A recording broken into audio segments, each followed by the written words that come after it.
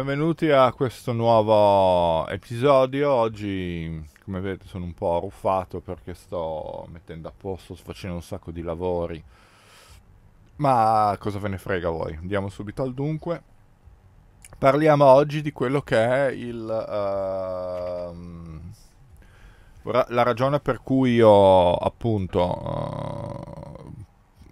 parlo sempre di,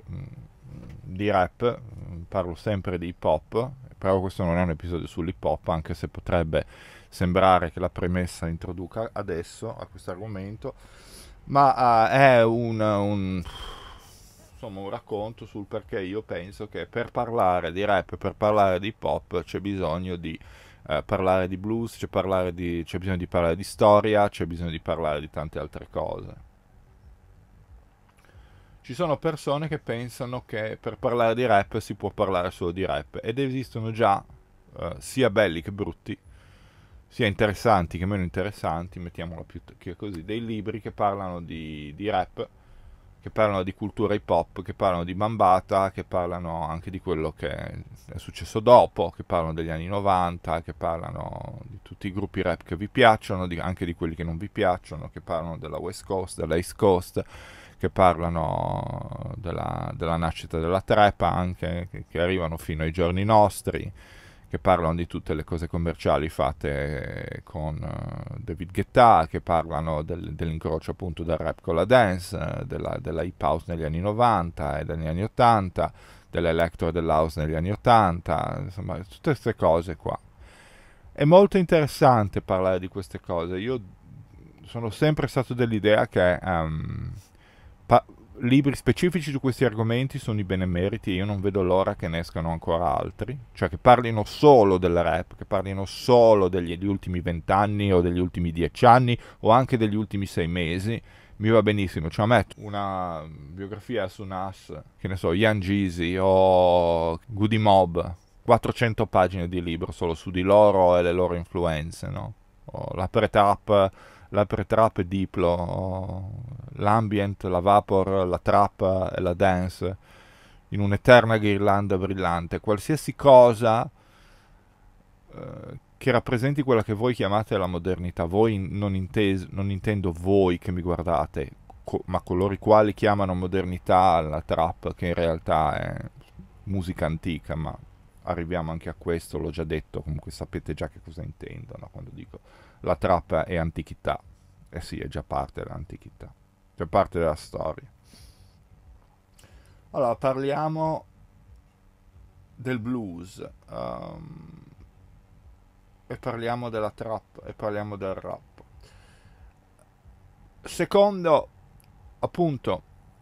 determinate persone che sono quelle che appunto hanno scritto i libri, e li conoscete bene in Italia, sull'hip hop. Sull'hip hop. Loro dicono che sono libri sull'hip hop. Secondo me sono libri che parlano un po' di rap e di, e di qualche altra cosa. In questi libri ci stanno informazioni sul rap, con una breve, solitamente molto sbrigata, uh, introduzione sul Bronx degli anni 70, che in realtà dovrebbe essere la parte più grande perché uh, lì si stabiliscono i codici anni, eh, purtroppo sì. Tutto quello che c'è lì, tutti quelli in America di cui che parlano di trap dicono chiaramente da Soundfield a Vox uh, a, ai, ai, agli accademici come Robert D. G. Kelly, a Trisha Rose, a, adesso non, non mi ricordo neanche tutti, ma tutti quelli che hanno scritto libri e libroni lo dicono chiaramente che la trap è un sottogenere del rap quando dicono la trap è un'altra cosa, non hanno... Sì, è un'altra cosa rispetto al rap, ma è un sottogenere, cioè viene comunque dal rap. Cioè, non viene... Eh beh, eh, non, non, viene dalla musica classica, anche se ci sono delle cose, certe musicalità nella trap che sono prese dalla musica classica, ma lo stile principale, il bassone, l'808 e il rap, sono idee del rap all'interno della cultura hip hop e anche all'esterno della cultura hip hop per chi ha studiato gli anni 80 sa benissimo che l'808 e il rap è una forma, proprio un'unione di suoni a livello di produzione che è stata scelta da tantissimi artisti. E negli anni 90 ci sono stati altri esempi che con cloni di 808, magari non con, con la mm, batteria originale perché all'epoca era già più rara e difficile da trovare, usavano, diciamo, questo abbinamento per delle produzioni che sono andate in vendita nei negozi, distribuite e finanziate da major labels. Quindi e questo è un argomento.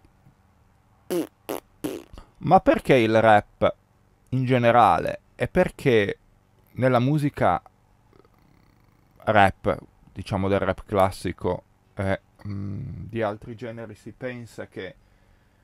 bisognerebbe andare indietro nel tempo per capire perché questa si sia verificata. Ebbene, perché anche chi, è, chi ha fondato e chi ha creato questi tool, queste forme artistiche che poi sono diventate il rap, eh, il DJing eh, il, eh, e tutto il resto. Parliamo di questi due perché sono le cose, e anche il pro, diciamo quella che non è considerata una delle quattro arti ma, uh, della, della, della, cultura hip hop, ma che è anche cioè, fondament- una skill fondamentale. Eh, le production skill sono diverse dalla, um, sia dal DJing che dal rapping perché nel production skills sono, si sono sviluppati negli anni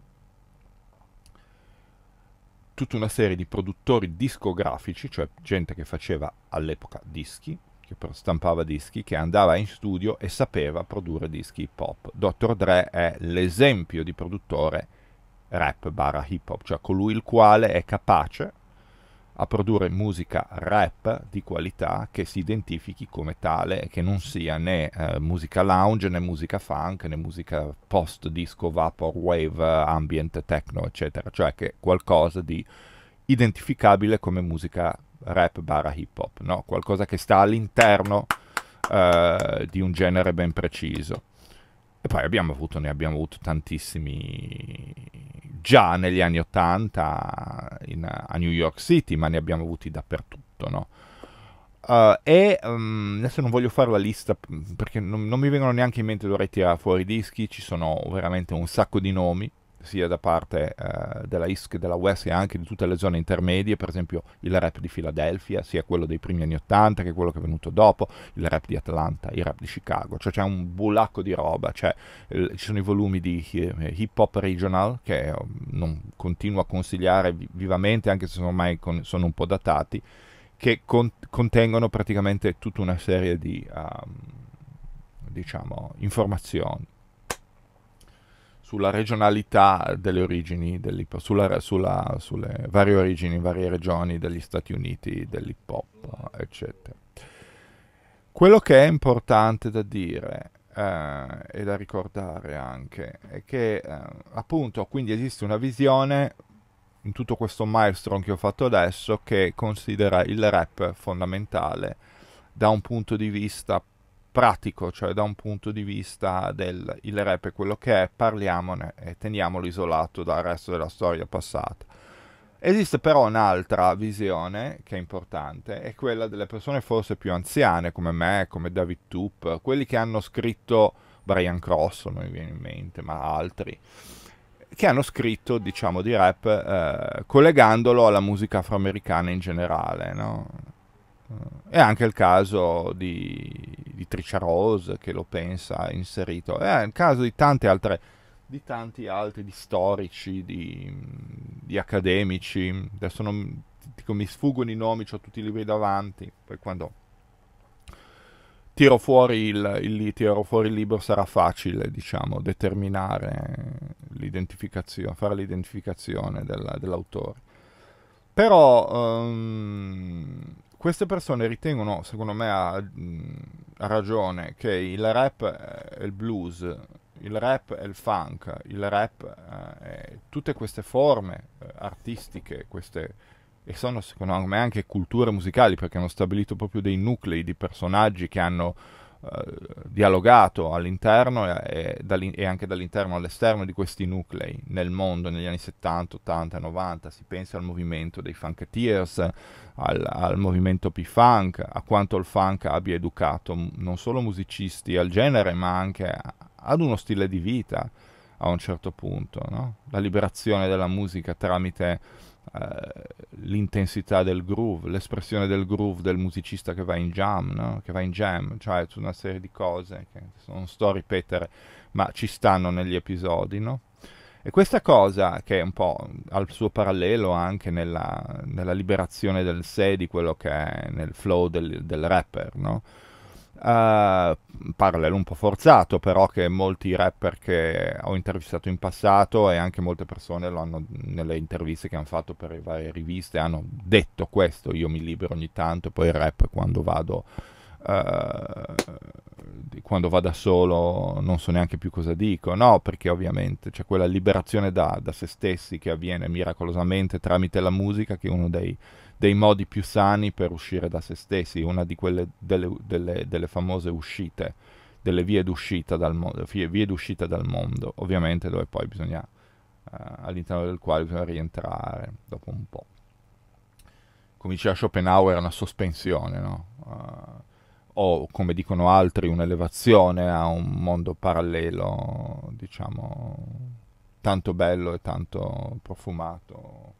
quanto il nostro mondo non lo sia, non lo è. Eh, ehm, e quindi niente, eh, secondo questa visione abbiamo tutta una serie di passi attraverso i quali, sì, di, sì, di passi, di, più che di passi, di, di tappe, all'interno quali, delle quali si sviluppa uh, la musica afroamericana, si sviluppano tutti i generi e gli stili e si arriva poi uh, al rap, uh, tutto quello che segue, fino alla trap, uh, le cose che abbiamo oggi, eccetera. Perché io penso che, um, non dico che bisogna sapere a memoria tutte queste cose, ma è buono esserne coscienti e sapere almeno le tappe, gli stadi più importanti della storia della musica afroamericana. Ma perché? Perché sempre più io vedo in giro gente che dice che la musica va studiata secondo quelli che sono i canoni della uh, musica occidentale, cioè della grande musica classica, quella che noi chiamiamo la musica classica, della grande musica occidentale anche, diciamo, non uh, tra virgolette classica, ma tutti i grandi compositori del cinema, teatro, eccetera, eccetera, uh, europei ed americani, e eh, sembra che noi, Italia, anche in Inghilterra, come anche in America, siamo tutti concentrati sul fatto che eh, dobbiamo vivere di questa grande, eh, di questa grande musica occidentale come se fosse la base di tutto, cioè come se la scala diatonica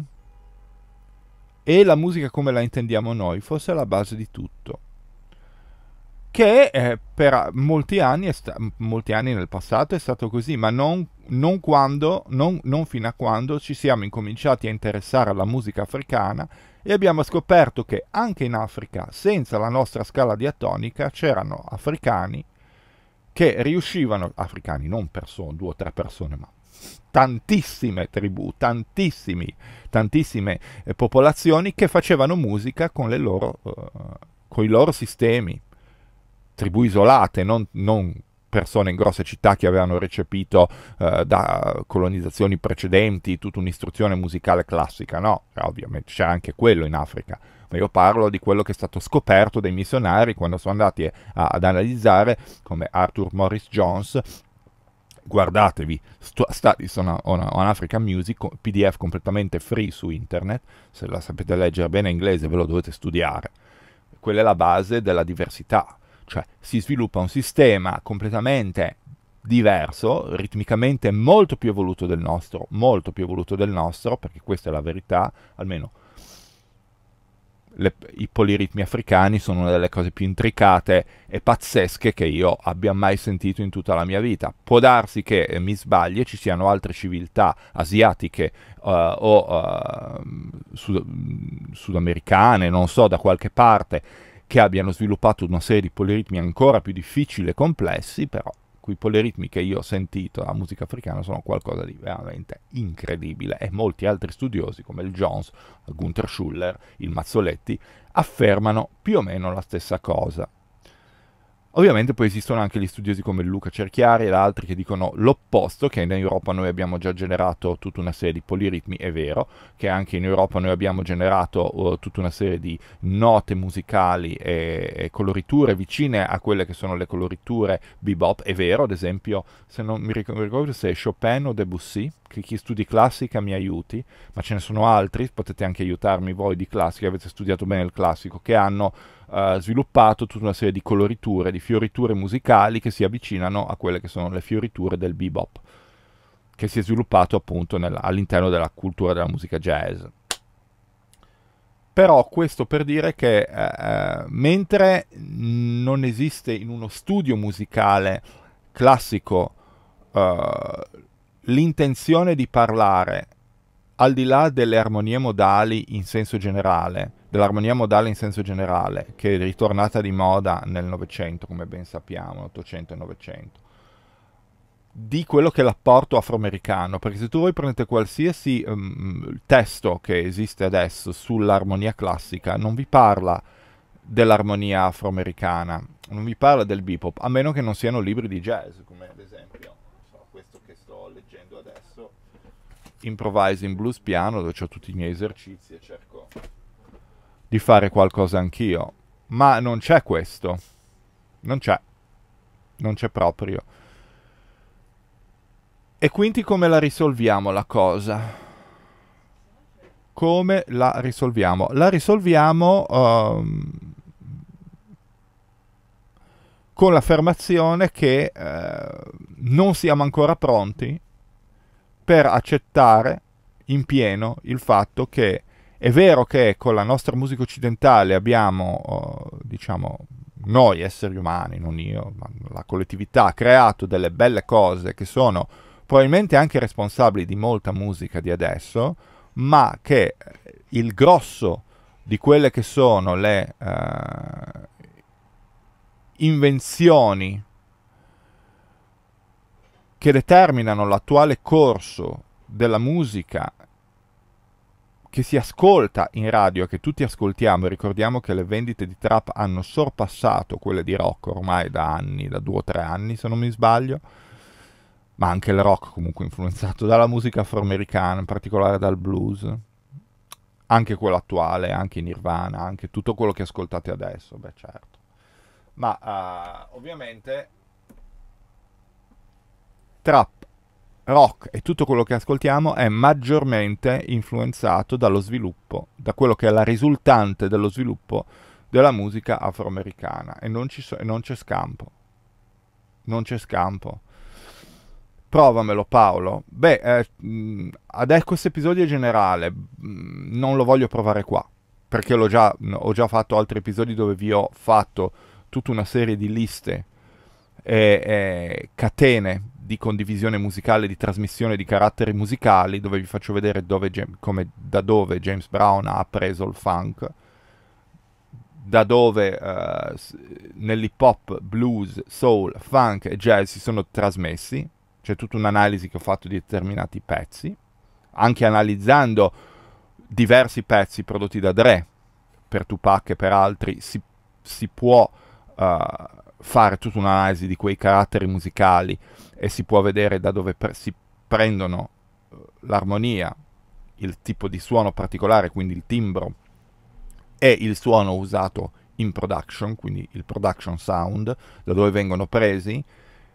come vengono elaborati, cioè ci sono dei bellissimi video di Dre uh, in studio dove te, te, lo fa vedere che ancora con i bobine a 16, a 13 o 24 piste nel suo mega studio e come vengono poi elaborati e eh, messi ehm, su master finale per essere poi messi su disco e venduti, cioè qual è l'output finale di queste cose.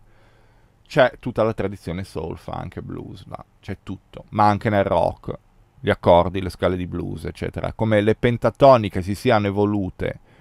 tramite l'apporto della musica blues è lo possiamo ascoltare nei risultati del rock degli anni 90, 80, 70, ci sono un sacco di cose. Sui, sui soliti nomi non ci voglio neanche più di farli, perché tira- dovrei tirare fuori i dischi e fare degli esempi, ma ce ne sono una, una barcata. Se volete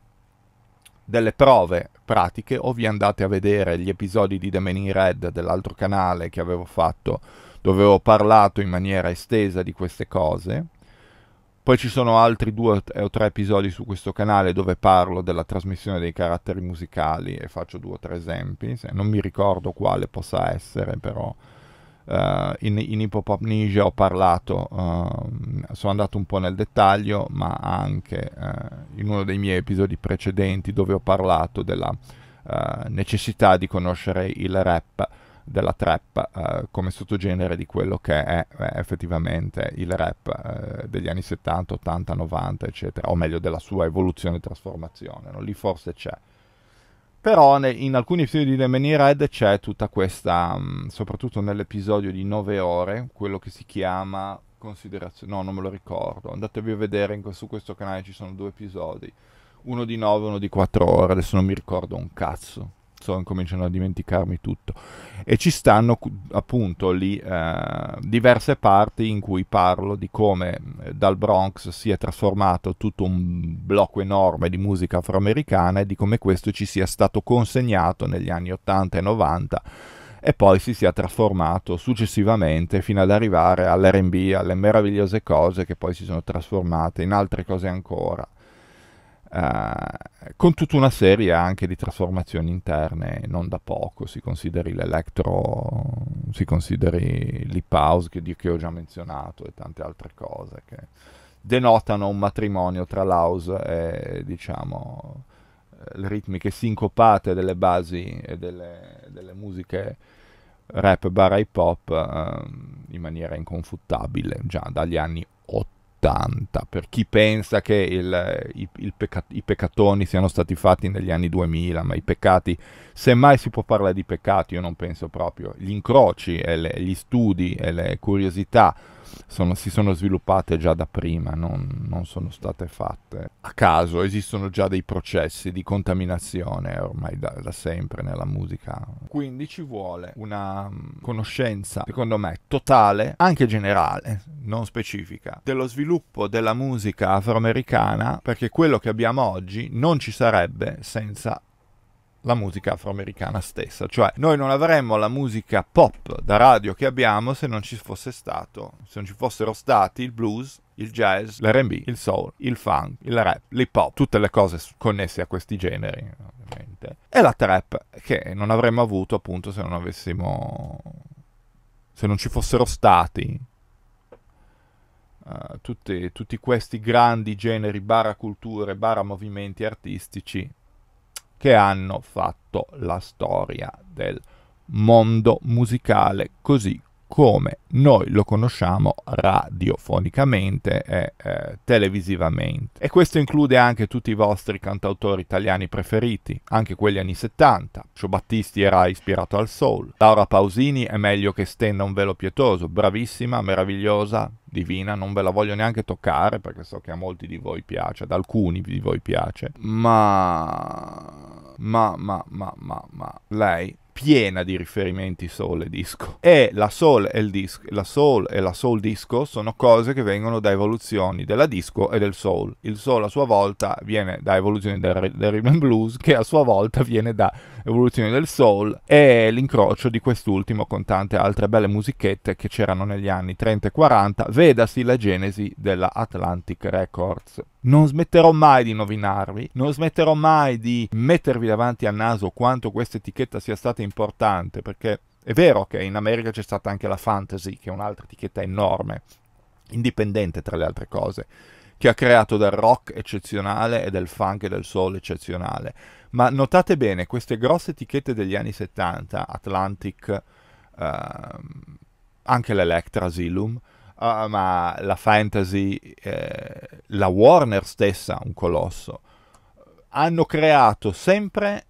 cataloghi rock ed RB bar funk allo stesso momento, in parte perché noi sappiamo che verso la fine degli anni 60 le major penetrano il mercato della musica afroamericana prendendo e conquistandosi delle fette di mercato, questo è nei libri, nel famoso report di cui vi ho parlato, che prima erano uh, di proprietà, o meglio, di proprietà, erano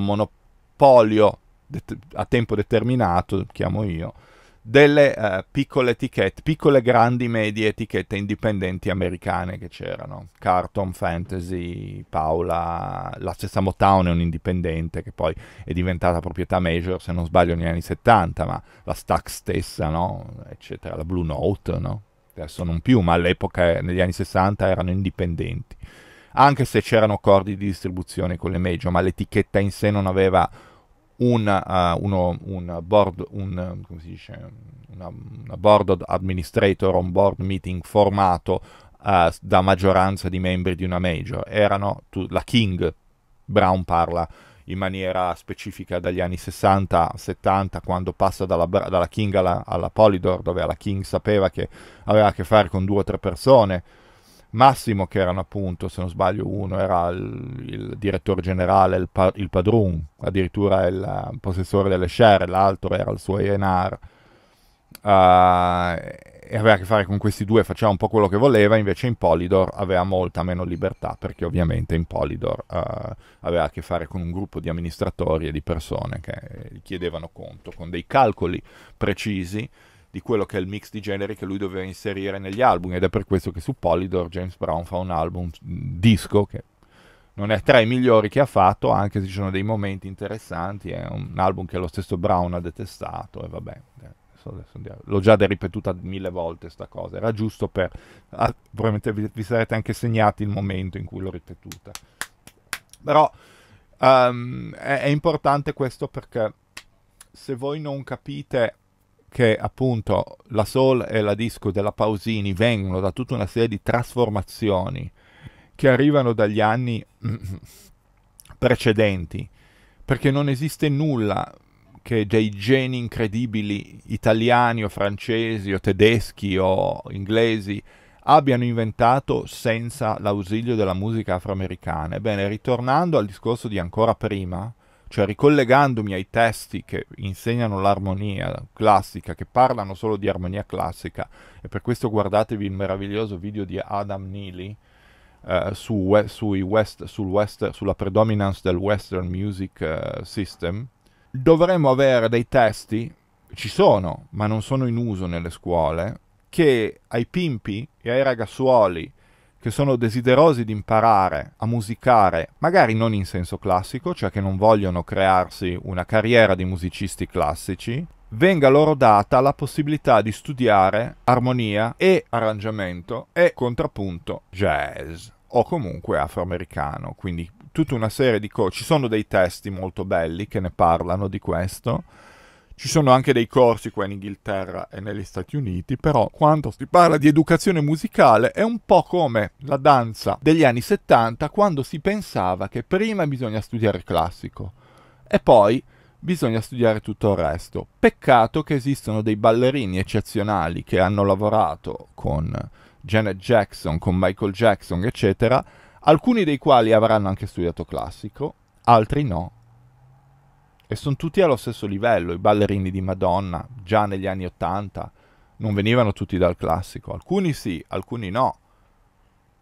Ballerini che hanno fatto la storia di Club MTV. Chi è che guardava Club MTV? Quindi non solo Camille Grammer, perché era una bella figa che poi è diventata una celebrità, ma cioè, ci sono dei ballerini che fanno delle robe su MTV che sono pazzeschi, pazzeschi.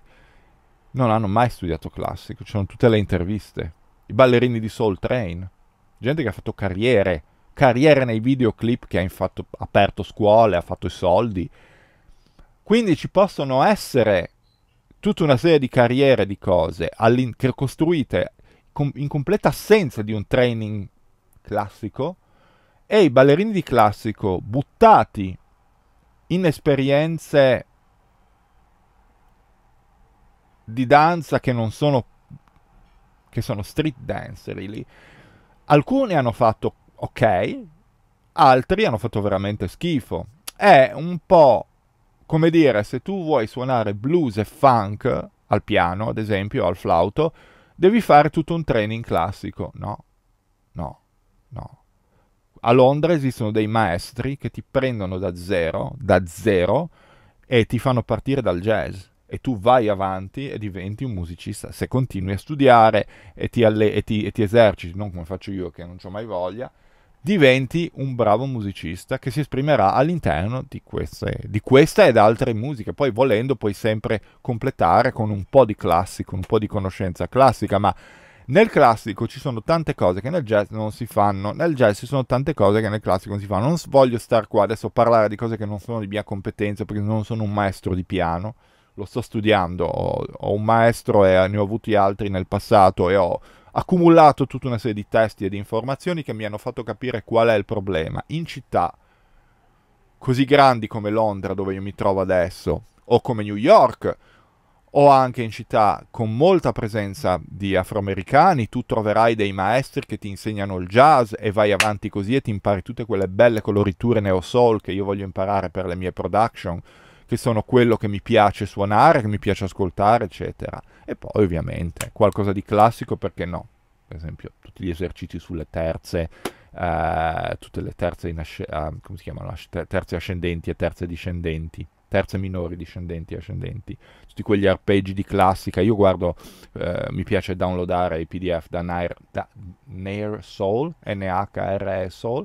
che ha un bellissimo canale dove appunto insegna e, parla di training classico e di arpeggi e di cose, però se voi vedete qual è la tendenza nel 2021 e parliamo di cose concrete, moderne, di adesso e sempre di vecchiumi, la tendenza è quella di unire tutta la conoscenza classica, tutta la conoscenza jazz e creare un be- una bellissima nuova disciplina un po' più grigia dove avremo una serie di elementi afroamericani e classici che staranno assieme. Alla fine se la scala diatonica è quella mi va benissimo Bach e tutto il resto ma voglio anche tutti gli sviluppi del, degli accordi dissonanti nel bop e tutta una serie di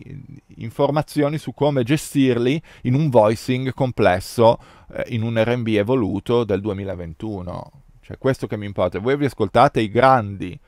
della musica degli anni 70, 80, 90, cioè Quincy Jones e Herbie Hancock, che sono i, i colossi, cioè questi due pesi che determinano tutto alla fine, tutto, tutto hanno determinato questi uomini. Qualsiasi cosa io abbia sentito nel, nel, nella musica suonata live, nella grande musica, certo c'è l'influenza di Davis, eccetera, ma nella modernità, cioè negli ultimi 15 anni, ci sono sempre loro di mezzo nella fusion, nel funk, in queste cose qua, cioè come influenza intendo, non nelle produzioni. In produzione hanno fatto un sacco di roba, però a livello proprio di influenza su musicisti anche a Londra, New York, è quello che sento io. E allora questi colossi, che poi ovviamente devono tutto anche, Hancock ha suonato con Davis, no? al grande Davis, a, all'armonia di Davis nei primi anni 70, che è un altro, un altro bastione importante, ma diciamo limitandosi a quello che ci hanno portato Hancock eh, e, eh, e Jones,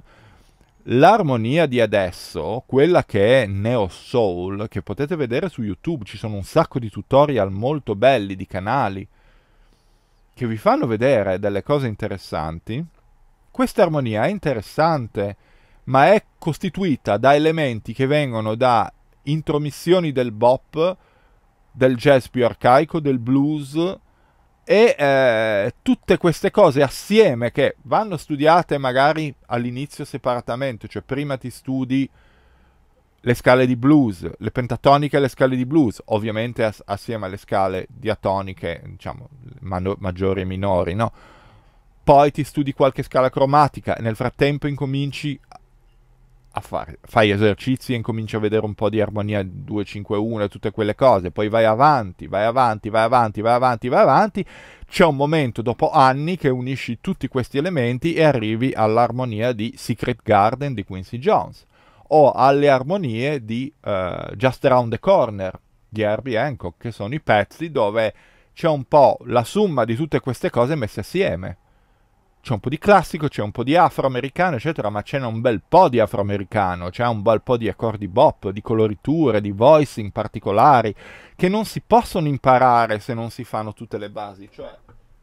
ragazzi, se non si parte da questo, non si può arrivare a quello. Cioè, non si può partire dal classico per arrivare a quello, perché partire dal classico per, per arrivare a quello, a-, a, un certo punto dovrete per forza andare sulle pentatoniche, che poi vengono modellate in base alle influenze afroamericane, diventano, diventano, si trasformano in quelle che sono le scale di blues più comuni, in F e in G, e poi c'è, c'è, ci sono i, miscredenti che le fanno anche in A, è, una, uno, è un joke, è uno scherzo ovviamente. No? In C. Uh, però um, le, scale di, le scale di blues, così come invece le ho studiate io qua a Londra da maestri che mi hanno... Che, che Jason Rebello, uno, ma ce ne, ce ne sono Tim Richards, ce ne sono tanti altri che sono persone di carriera che hanno fatto dischi e controdischi per cani e porci, persone, musicisti bravissimi. Questi qua ti danno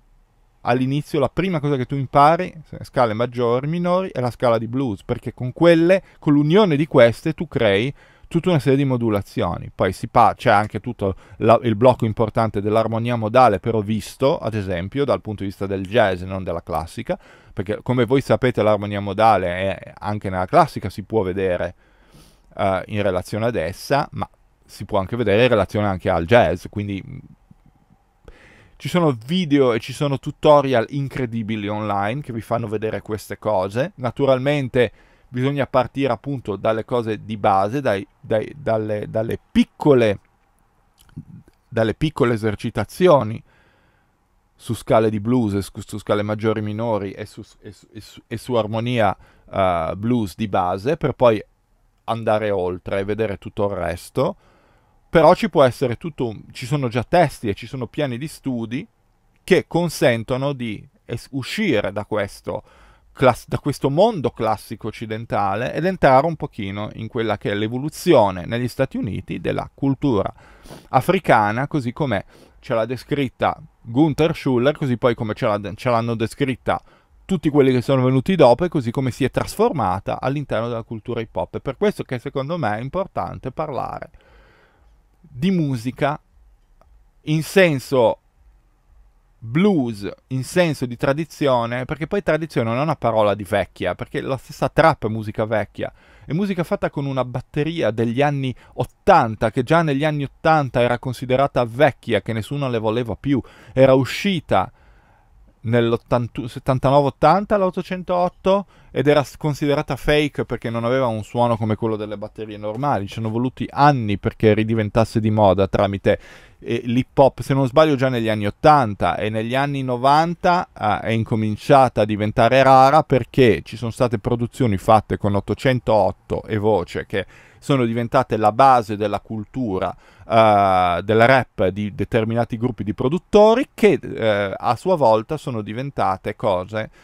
um, importantissimi per generi come la trappa ed altro. Quindi 707 non tanto, ma è una bella batteria della Roland, 808 fondamentale per i pop trap e, e per certi tipi di rap, bar hip hop, uh, cioè musica hip hop e trap, e 909 House Techno, eccetera. Ah, utilizzabile anch'essa comunque in, in congiunzione con l'808, produttori voluti le usano tutti e due, usano campioni tutti e due, però vabbè, poi diciamo parliamo delle cose semplici della base, no? di come sono venute le cose all'inizio. Quindi niente, sia a livello di produzione che a livello di uh, musica, la musica non è come un computer, per cui se un computer è vecchio di vent'anni non serve a niente perché i computer di adesso fanno tutto quello che lui non fa e sono più veloci, eccetera, eccetera, sono più performanti, sono più funzionali. Sono computer che servono allo scopo di quello che è il loro uso nell'oggi. La musica non è così, musica che anche ci può sembrare datata, è sempre musica che ci può dare qualcosa ed è per questo che la musica è eterna, cioè la musica non scade mai, non scade come gli yogurt, come il cibo, come la tecnologia, che un iPhone vecchio non è come l'iPhone nuovo perché l'iPhone nuovo è più moderno. Volendo se, se l'iPhone vecchio o, o il telefono vecchio funziona si può usare, ma la musica non è neanche qualcosa che ha una funzionalità limitata come un vecchio telefono. E questo è il concetto che voglio farvi passare. Voi domani potete andare in estasi perché ascoltate Billie Holiday cantare un pezzo dal vivo eh, eh negli anni 30-40 cioè, voi non avete possibili- no, non avete solamente possibilità di estasiarvi con musica fatta dieci giorni fa, dieci giorni prima. Un giorno della vostra vita, anche a quelli che ascoltano solo robe nuove dal tra le più nuove, sono sicuro che qualcuno tra voi capirà la bellezza di un pezzo swing o di un pezzo classico di 200 anni fa. Perché effettivamente dei produttori di house negli anni 90 mi hanno fatto una testa così su Mozart, se per loro Mozart era così attuale, nel senso che lo ascoltavano come fosse lui Vega dei Masters at Work, cioè, e, e non voglio fare i nomi di questi produttori, ma ci, mi hanno fatto delle, veramente delle teste così. A me piace Rachmaninoff, per me Rachmaninoff è il massimo, per me ovviamente soggettiva come opinione, è attualissimo Rack 3, ma anche tutte le altre cose che ascolto uh, sue sono veramente interessanti, ma tante altre cose di classico mi piacciono. Che non penso che siano vecchie, sono attuali, è musica, è per sempre, e fino al giorno in cui io camperò. È l'ultimo giorno della mia vita e io spero di avere della musica attorno, e non mi importa se sia vecchia o nu- sia nuova, mi dovrà emozionare.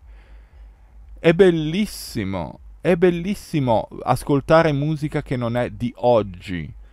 perché la musica è come un circolo infinito di cose che ci vengono uh, date da, anche dalla casualità a disposizione che scopriamo da, adesso da internet, ma anche andando in un thrift shop, andando dovunque, parlando con un amico, con un conoscente, ascoltando qualcuno che parla per la strada, in un ufficio, dovunque. E ci interessiamo delle cose che non avremmo mai ascoltato, che non avremmo mai eh, pensato di mettere nel nostro computer, nel nostro giradischi, nel nostro CD, nella nostra chiavetta. E questa è impo- la cosa importante. La musica non è un computer la musica non è solo fatta, stata fatta in Occidente, ma anche in Africa e in tante altre parti del mondo. E non ho parlato dell'India, non ho parlato dell'Asia, non ho parlato di altre cose. Se no complichiamo ulteriormente. Ma proprio per questo dobbiamo capire che non ci siamo solo noi occidentali. Noi siamo stati molto importanti, ma anche gli africani sono stati importantissimi. Anche il jazz è importante tanto quanto. Il jazz è musica che può educare tante persone e chi sostiene che in Italia la musica afroamericana e la cultura jazz non sono cose che dovrebbero passare perché non sono cose nostre, si sbaglia perché già sono cose nostre perché la maggior parte del cantautorato italiano propana, a, pro, scusate, propana, propina agli italiani musica che è apparentemente parte della tradizione italiana quando in realtà c'è pieno di blues, c'è pieno di soul, c'è pieno di RB contemporaneo, c'è pieno di trap, c'è pieno di sincopazione jazz, c'è pieno di tutto quello che non è la loro tradizione musicale. Già negli anni 60 basta leggersi il Mazzoletti, basta leggersi um, quel libro che parla della musica progressive italiana, non me lo ricordo più. Lì c'è una lista di, di influenze americane enorme, che negli anni 60 ha modellato tutta la storia del rock e del non rock italiano, della cocktail, della lounge, di tutta la musica prodotta per film, telefilm in Italia. Mamma mia ragazzi, lasciamo perdere, lasciamo veramente perdere. E che per chi pensa che gli esperimenti sui sintetizzatori siano un dominio dei musicisti occidentali, dei, degli sperimentatori francesi, europei, eccetera. Beh, sì, certo, lì c'è un grande apporto, ma mm, i sintetizzatori in mano ai musicisti americani negli anni 60 nella psichedelia jazz, c'è qualcuno che è un pochino esperto e che ha visto che cosa è stato combinato a riguardo e quanto quello sia stato importante per noi. Ok? Poi un giorno faremo delle puntate in cui compareremo le produzioni fatte in Italia e in Europa da produttori di librerie musicali che hanno prodotto appunto libri per la radio e la televisione, cioè dischi, scusate, dischi per la radio e la televisione, poi venivano messi come sigle per i bumper televisivi, eccetera. E quelli che invece sono state eh, le sigle televisive o le musichette prodotte per la televisione in America e quale delle due forme ha, ha predominato su quella che è la, di quelle che sono le sonorità e le cose a cui siamo più familiarizzati oggi. Questo è molto importante. Molto importante. Io sono dell'idea che non si possa vivere proprio musicalmente senza riconoscere, cioè non si può essere onesti senza riconoscere che non siamo stati noi occidentali bianchi a fare, a costituire le basi, eh, lo scheletro e anche la sostanza di molta della musica che ascoltiamo oggi, anche di quella più insospettabile, che pensiamo sia fatta appunto solo in base a criteri, diciamo, stilistici, tecnici, estetici, armonici, europei, degni, di, degni dell'eredità della grande Europa mitteleuropea che ha generato tutte le punte del pensiero occidentale, Kant, Hegel, e poi dopo Adorno, che ci hanno detto quanto è brutto e quanto è primitiva l'africano con le sue musichine. Uh, uh, ci voleva Marx per dire che non ci può essere emancipazione se bianchi e neri non si emancipano come classe lavoratrice. C'è scritto, c'è scritto questo, c'è scritto nel capitale anche c'è scritto. White and man, white and black kinship, la, la frase se non sbaglio. Eh, eh? Adesso non voglio stare qua a argomentare perché mi ricordo questa cosa qua perché la stavo studiando settimane fa per una parte che sto scrivendo per il mio meraviglioso librozzolo che come vedete ho diligentemente evitato di menzionare fino adesso. Però comunque sì, cioè, chi vi parla pensa questo, pensa che la musica afroamericana sia un, un pezzone di cultura assolutamente fondamentale, fondamentale e non eh, è inevitabile, inevitabile. Quindi che altro dire, ragazzi? Abbiamo fatto questa petite chiacchierata, piena di svarioni, un po' libera, un po' così. Però ho voluto mettere in mezzo a livello più emotivo che tecnico, uh, perché sul, sulla parte tecnica sto già scrivendo e studiando per una cosa che venderò. E voi sapete sono già tante cose che sto facendo. Plof.